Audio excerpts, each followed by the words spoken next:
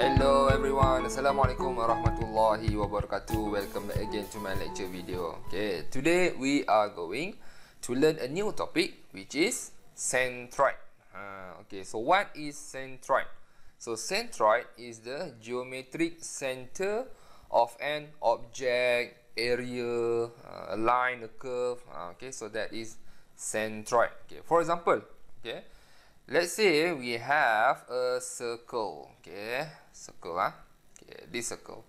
So where is the location of the centroid for this circle? Uh, of course lah, geometric center. So means that it is, okay, ah, in the middle of this circle here, okay. What about a rectangle, for example? Okay, rectangle. Okay, where is the geometric center, centroid of this rectangle here also in the middle okay so in the middle part ah okay this one okay. What about a triangle? Okay let's draw a triangle ah. Okay we have a triangle. Okay this one. Where is the centroid of this triangle? Okay circle easy center. Uh, rectangle or a square also easy center. But for a triangle how to determine the centroid of a triangle. Uh, okay so in this topic so in this chapter we are going to learn on how to determine the location of a centroid okay for this type of uh, a shape okay? And also we are going to determine also when we have a multiple a complex shape okay? That includes multiple common shape like circle, uh, triangle and everything. Okay, for example, let's say we have uh, this one. Uh, okay, we have a rectangle combined with a triangle at the top here. Okay, rectangle, triangle. Okay, this one. Okay, how to determine the centroid of this area here? Okay, that has a rectangle and also a triangle. Uh, okay we will learn on how to uh, locate the centroid for this area okay so for this uh, centroid here we have this common equation.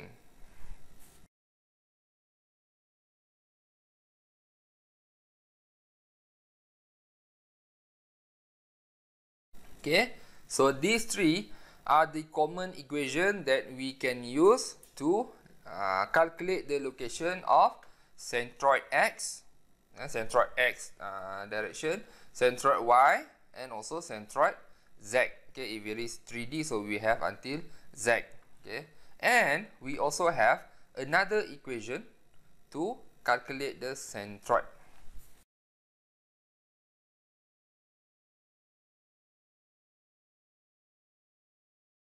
Mm, okay, so these are the another three equations that we can use to locate centroid. Uh, so what is the difference between this one and also this one? Okay, for this part here, okay, usually we will use this part, okay, this one here, okay, to calculate the location of uh, the centroid for a common shape like this one, okay, like a circle, like this triangle uh, rectangle and also for this triangle okay and for this this one here okay for this equation here this one here usually we will use this equation to locate the centroid of an area where we have a multiple common shapes in it. Uh, like this one okay rectangle and also a triangle. Okay if you can see this one here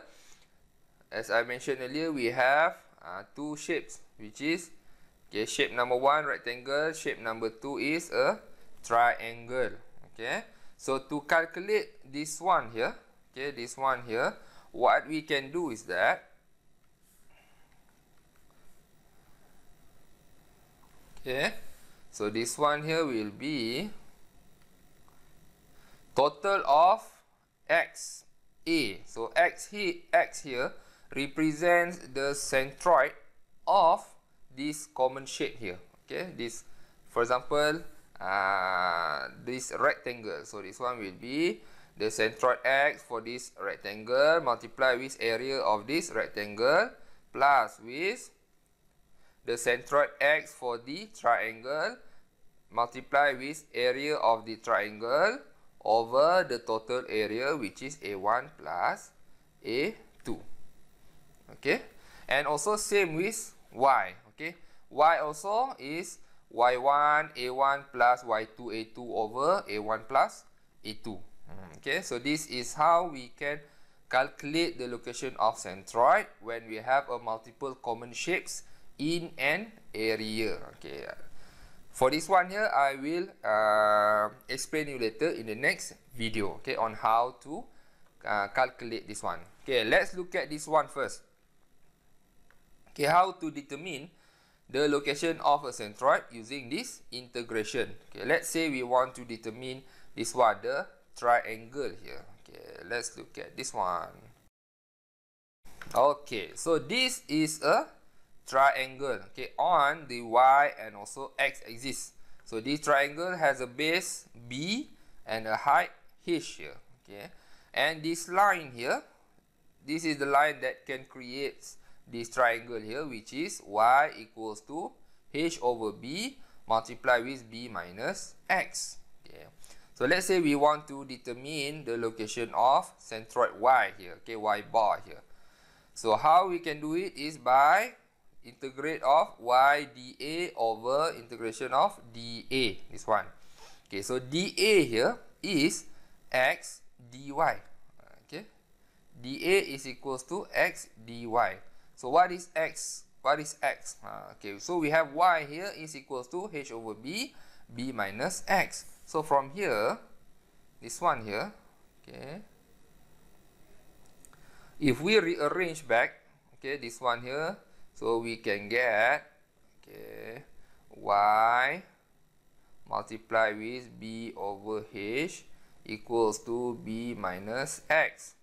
So therefore, x here is equals to b minus yb over h. Yeah, and x is equals to if we take out b over h to the outside here. So we can get b over h, h minus y.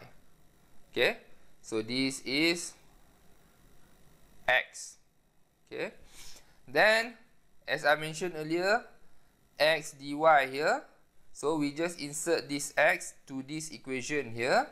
Then we can get this one. Okay, and we want to integrate from 0 to h from here to here then if we calculate we will get the answer h over 3 hmm.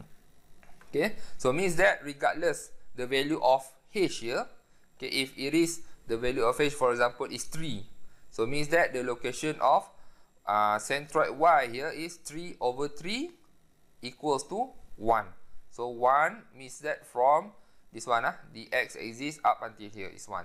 Okay, what about the location of centroid x uh, for this triangle here? So, if we try to calculate actually the location of centroid x here, okay, this one here is equals to b over 3. Okay, so this is b over 3. So, if we draw on this triangle here, So this is our centroid location. Okay, X. Bawah buat lah. Eh. Okay. This one. Okay. So, what about the other common shape like triangle, ah sorry, like a circle, like a rectangle. Okay. So actually we have an appendix for that. Okay, let me show you the appendix. Okay, so these are the other uh, centroid for the other common shape like this rectangle here so rectangle here as mentioned here b over 2 so b here is the base huh? b and this is h huh? okay so b over 2 means that in the middle lah okay h over 2 is in the middle also so this one so this is the location of the centroid okay and for the right triangle as mentioned here is uh, centroid x is b over 3, centroid y is h over 3. So means that the location of a centroid is here. Okay, this one. So this one will be b over 3 and this one the height will be h over 3. okay. And for this uh, kind of triangle also we have b over 2 h over 3 so around this part ah. okay so this one will be h over 3 from here to here and b over 3 is from here to here okay b over 2 sorry b over 2 so the circle here is r so r is what uh, actually in the middle lah because the r represent radius so R here and also this is also R. Okay, and for the semicircle here, the location of centroid X is R. Of course, huh? okay, R here. And then centroid Y is 4R over 3 pi. So if we draw on this semicircle here, so this one will be 4R over 3 pi. This one. Okay. And R here is from here to here lah. Okay, this one is R. Okay, and for a quarter circle is centroid x 4r over 3 pi, centroid y also 4r over 3 pi. So we have from here to here 4r over 3 pi. This one also 4r over 3 pi. Hmm.